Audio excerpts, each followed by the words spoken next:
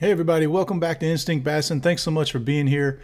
In this video, we're going to be doing a short unboxing and install type uh, video for the Ionic lithium charger. I've got the 36 volt on one side and 12 volt on the other. Stay tuned. I think you get some good, useful information out of it. Thanks for being here. Real quick before we get started, I want to take a minute and tell you to be sure to check out our new partner for 2024, and that is the GPSstore.com.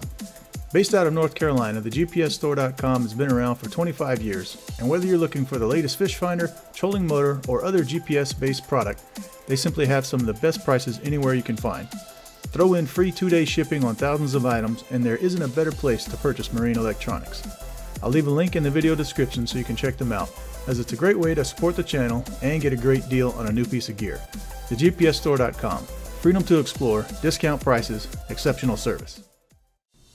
All right, so I recently upgraded my trolling motor battery to one 36 volt lithium ionic 50 amp hour battery and I needed a charger for it. And so I got this one. This one, what's cool about it is instead of the four bank charger, this is basically just a two bank charger. One side will control or uh, charge the 36 volt lithium ion battery and the other one will charge the 12 volt battery which currently is just a normal uh, wet cell battery because it's fairly new. I didn't want to replace it yet, and frankly, it didn't have the money to. So these lithium batteries are not cheap. I do think they're better in the long run, but they're certainly not cheap to get started. So this one comes with the uh, two leads on each side and the plug, and then it's also got some extra fuses and the mounting hardware. All right, so this right here is the charger that we're going to be replacing. This is a Minn Kota digital charger that was on the boat when I bought it. Um, it's been on here for a good two and a half years since I've had the boat and I haven't had any issues with it whatsoever. I'll probably just end up selling it on, on Marketplace or something. But I did need a new charger since I'm going to be charging now a 36 volt lithium ion battery from Ionic. Uh, really looking forward to getting this battery out on the water and testing it and seeing how it works with the new force trolling motor that we installed recently on the front of the boat. And so one thing that we needed to do when we're um, removing this old charger is that I, I want to be able to plug in the new charger just, you know, the same way I did the old one.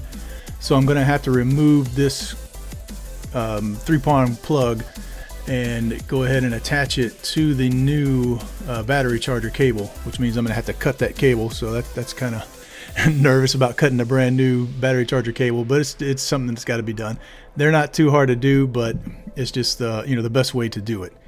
This is a shot of the newer charger right next to the older charger. You can see how much smaller and more compact that more powerful newer technology is than the older one. Okay, so I went through a few considerations before figuring out which orientation, which way I wanted to put the new charger. And this is what I settled on. Um, excuse how dirty this bilge is, by the way. But um, I settled on having the 36 volt lead come off to the left, going towards the 36 volt battery naturally. And then the 12 volt lead coming off to the right, right next to that cranking battery there. And what that'll do is allow the charging plug to come around the charger just a little bit and then it'll come up through that hole where the old one was and then we'll cut off this plug here attach the wires to that that prong that I showed earlier and then we'll just reattach it to the boat and we'll be able to charge the new batteries the same way as I was able to charge the old ones just by plugging in the extension cord to the back of the boat like so. In case you all are wondering that is dirt from the Headwaters Lake Road it's a big gravel road and it gets your boat filthy. And here we go. This is just a shot of the battery now that it's plugged in. We see we got a red light on the left, which just means that it is charging that new battery. And then green on the right means that the cranking battery is already charged. And one thing cool about this system is that you can download uh, the uh, Ionic app and you'll be able to see what percentage your batteries are. Now lithium batteries always ship um, at about half charge so that's why this one was there at 47% but it's charging now and I'm um, looking forward to getting it on the water. Thanks so much for watching and we'll see you in the next one.